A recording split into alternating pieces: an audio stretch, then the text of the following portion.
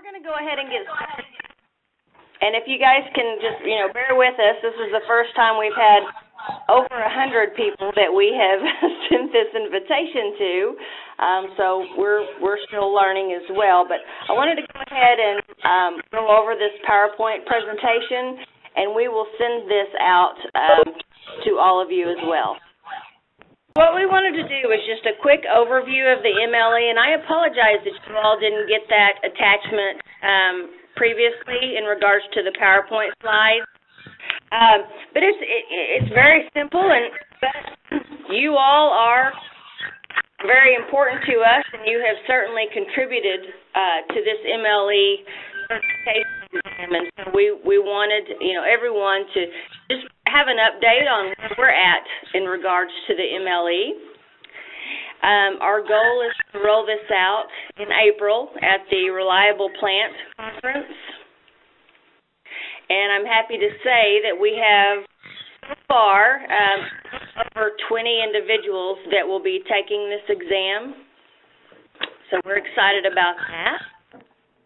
Good. Yeah. And so it's really an engineering level certification. it targets reliability and asset management um, because, as most of you know, we're also working on the ICML 55. Um, so this has a huge correlation with that, and it's for professionals with a strong emphasis in lubrication and lubricant analysis. Um, it does certify an individual's knowledge and understanding of the abilities uh, to provide the general engineering support uh, to a user lubrication program at a typical industrial plant. And we've we've had a lot of people asking us different questions, and that's why it was important for us to have this call with you all because you all have may have the same questions, and so we certainly wanted to to address those as well today. Um, and, and, just in regards to the scope of the MLE certification, um, emphasizes a person's understanding of lubricant selection, lubrication and sampling, hardware selection, and implementation, and then overall lubrication program design, along with machinery design and inspection program design. And it's there's a lot of procedure development, and as as some of you all have certainly helped Hosanya um, with these questions, uh, hopefully some of this will relate to what you all have sent Hosanya. She has implemented in regards to this particular exam. Um, it also optimizes lubricant PMs and then analysis and troubleshooting, of course, and then lubrication program metrics um, and then there are some team management aspects and communications uh, pieces in this as well, and then you know training and skills remediation, of course. Excuse me, Leslie, are you are you showing the presentation right now? Well, we are working on that. oh, okay. I didn't want to make sure I was missing something. Yeah, no. Uh, for some reason, it it showed up on the attachment, but it's not. Uh, unfortunately, it's not showing up here, so I do apologize. Um, so a lot of you all have asked what the requirements are, and there are some training companies um, that are looking at the, the body of knowledge, of this MLE, and so some of them are making study guides currently in regards to that. So that's why I, I certainly want to get these PowerPoints to you all so that you all can can see that because we do have the the body of knowledge that you know if, if there are some of you that want to have those study guides you can certainly um, make those in regards to the body of knowledge that we have and the, the MLE requirement we'll also have this in a brochure at the Reliable Plant Conference um, we'll have the MLE on one side, and then we'll have the ICML 55 information on the other side of the brochure so that you all have that as well.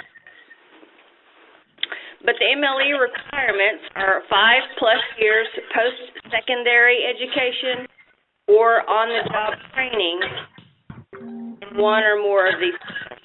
Yeah, can you can you all put your mute on, please, because we're we're getting a lot of static from someone. Thank you. So, five years post-secondary education or on-the-job training in one or more of these fields, which is engineering, mechanical maintenance, maintenance trades, lubrication, oil analysis, condition monitoring. So, the, one part of the requirement. There are no certifications or engineering degrees um, are prerequisites to this particular um, exam. So wanted to let you all know that as well. And then no formal training courses are required. We do ask when we've had some calls, we do ask that they have, you know, have either passed the, the MLA, MLT, because if they have uh, passed that and have the understanding, they will certainly, uh, you know, do do better uh, with this particular exam. But yeah, there's no formal training courses uh, that are required at this time. Um, the actual exam uh, is four hours. It's 150 multiple choice questions. It is a closed book exam. And of course, the, the same as the other exams, it's, it's the 70% to pass this particular exam. And then we also will work with the individual because being a four hour exam, sometimes we know that individuals need to take breaks. Um, so we will work with those particular individuals in regards to that, and we'll work with the proctor as well. But the exam is 150 multiple choice questions, and it is four hours. Okay. And then there's a lot of information in regards to the body of knowledge matrix. And so I, instead of going over each of those, I will certainly uh, send you all the PowerPoint as soon as we get off this call. And once again, I do apologize. It, it was on the attachment, but unfortunately, it's it's not popping up now. So I, I do apologize. Um, but we do have the body of knowledge, and it explains each of these particular areas of the matrix. Um, so those of you who would like to have study guides for this particular exam, um, you could certainly, you know, make those with this body of knowledge that's available. And we certainly appreciate uh, all of you who have assisted with this because I know that most of you have helped us with the MLE, but you're also helping us with the ICML 55. And we can't thank you enough uh, for helping us with that for sure. Um, and then it's one of the questions that we got was how will the test be run and proctored? We it's the same as any of the other exams that we offer. We will find the the proctor and then um, coach and and let them know what they need to be doing, and then we'll have the four hour exam. And then one of the guys that called yesterday said, How familiar should a candidate be with ICML 55? only general topical knowledge, or should they be able to demonstrate that they can apply the topics? And at this point, it's once you see the body of knowledge, you'll have more of an, an idea of what this exam is all about, and it's it's just a step above um, the other certifications that we offer.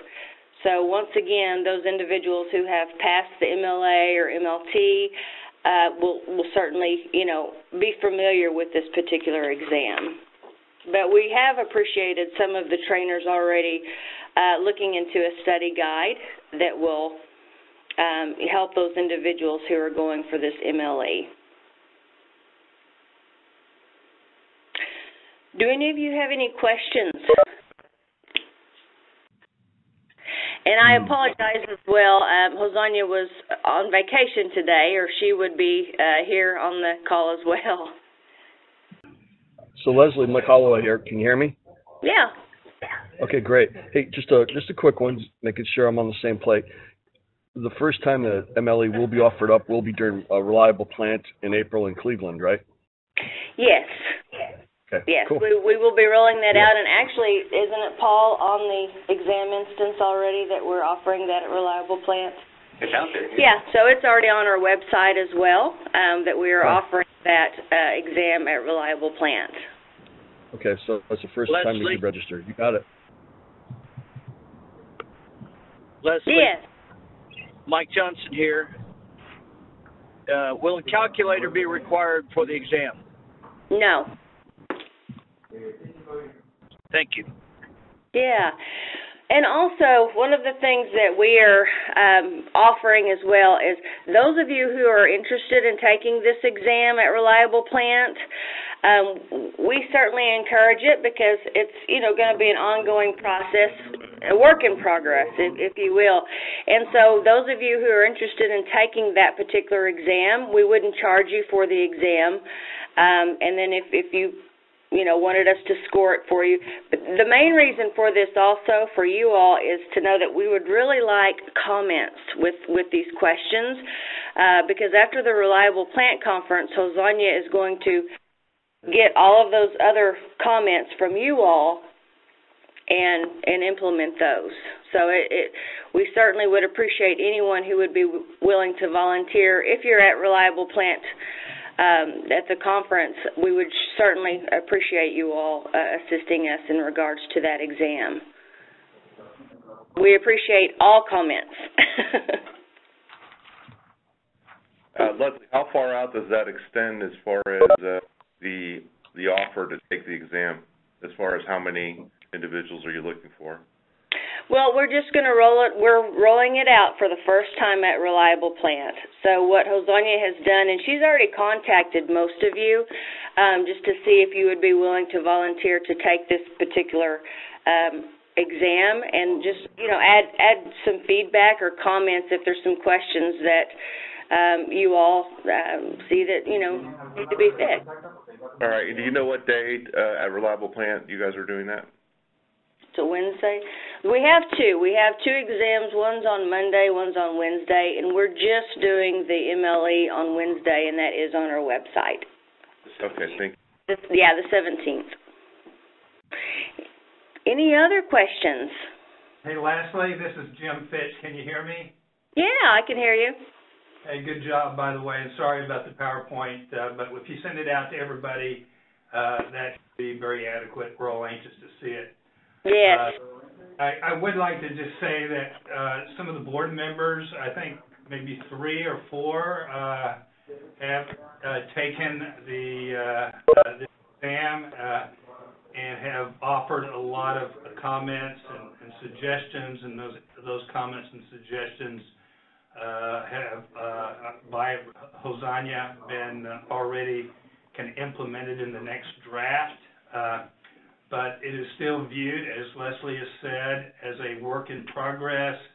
Uh, and because uh, all of you that have volunteered are subject matter experts, uh, your your feedback and suggestion and comment are valuable to the ICML and the overall quality of the exam, which of course we would like it to be at a very high level.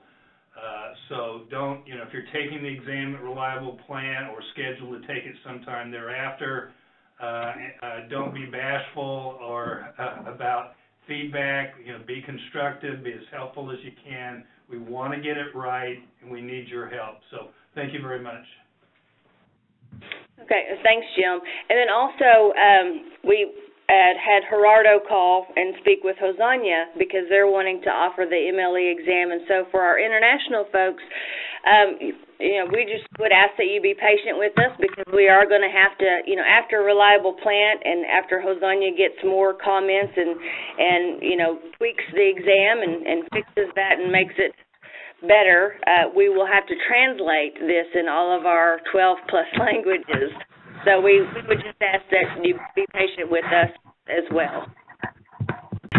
Okay, well that's all we have for today, and I certainly once again appreciate you all joining us. Um, we appreciate all of your help for sure, and we will get this PowerPoint sent out right now as soon as we get off of, of the call. Okay, thank you. Thank, thank you for joining us. Thank you. Thank you. Okay, thanks. Bye.